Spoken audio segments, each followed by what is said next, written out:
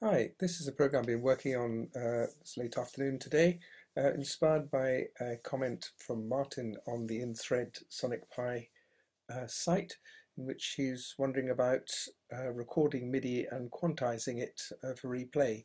Well, this uh, deals with the first part of that. How can you actually record real-time MIDI coming into Sonic Pi and then re replay it and reconstitute um, the sounds that were there initially?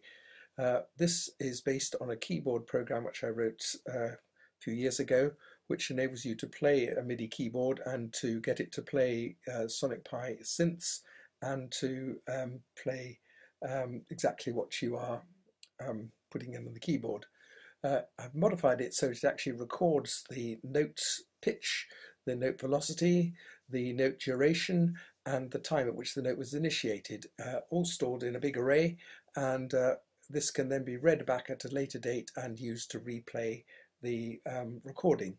So uh, it's in the program here and I'm going to start off by um, commenting out the section at the beginning uh, which is here which is used to for, for playback um, which we obviously don't want to do to have recorded something. The recording section then follows and um, you can see down here that uh, in this line here everything is stored about a note. When it is released, it records the note pitch, it records the duration of the note, it records the amplitude of the note or the velocity factor with which it was hit, and it records the time at which the note was initiated. And then down here, right at the very bottom, we have got another little live loop here, which will let me um, interact with three MIDI control signals, which can be used to reset the time zero and to reset the contents of the list, and finally to uh, record the list in the timeline with a reference colon T list so that it can be used in the replay program. So we'll start this recording. I've got a, um, a screen recorder running which uh, can slightly interact with the um, uh, the screen when I start the program running. It may stay red, but it will, should still hopefully work, but we'll see if it's okay. Uh, so starting the program running, yes, oh, no, it's, it's worked this time, so that's fine. So we're in record mode. I'm going to press um, the MIDI key uh, 24, which is going to reset the time to zero, and then I'm going to start playing. Something soft now.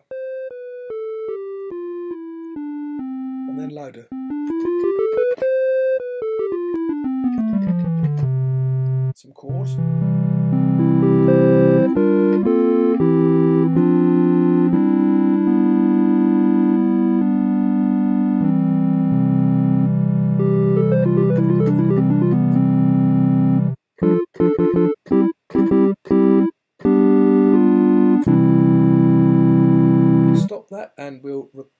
That by pressing the uh, MIDI key 25 and now if we stop the program from running and we come back to the beginning and we uncomment this uh, we're now going to play the first part of the program which is going to be stopped when it gets down here to this stop signal. And that is going to take the contents of the array stored in the timeline t-list and put it back into a variable here and we're then going to just print out, this is really for debugging purposes, the contents of it on the screen, and then going to split up the contents into an array of starting times, uh, an array of note um, values to play, an array with list with the durations of the notes, and an array with the amplitude of the, of the, note or the velocity factor with which it was hit. I'm going to play it back with the same synth it was recording, which is the synth tri, and let's see what this sounds like. Here we go.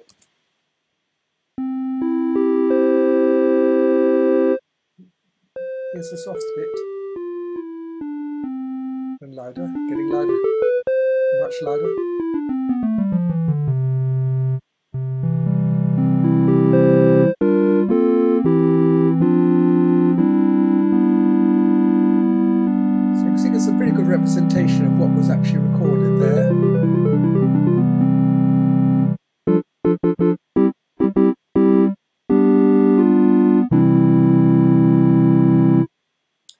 And it's because it's recorded, we can just do it again. Just run again, and it plays back the recording once again.